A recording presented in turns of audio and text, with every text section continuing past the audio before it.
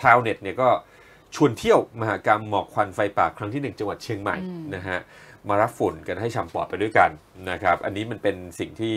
อะสะท้อนถึงการเสียดสีอยากจะให้เกิดการแก้ไขปัญหาขึ้นมานะฮะ ผู้ใช้บัญชี TikTok โจอี้กิติยานะครับทำคลิปล้อเลียนเชิญทุกคนเข้าร่วมงานมหากรรมหมอกควันไฟป่าครั้งที่หนึ่งร่วมกันสัมผัสบรรยากาศหมอกควันไฟป่าที่คละคลุ้งทั่วเมือง เชิญเที่ยวงานหมอกควันไฟป่า ฉลองแชมป์ที่เชียงใหม่ เป็นเมืองอันดับหนึ่งของโลกที่มีหมอกควัน PM สูงสุด ก็เลยจัดงานนี้ขึ้นมา ในงานก็สัมผัสกับหมอกควันไฟป่าคละคลุ้ง เห็นการแสดงแสงสี แสบตาหายใจลำบาก เพลิดเพลินกับวงดนตรีวงใหญ่ วงบรรเลง music คณะหมอลำชื่อดัง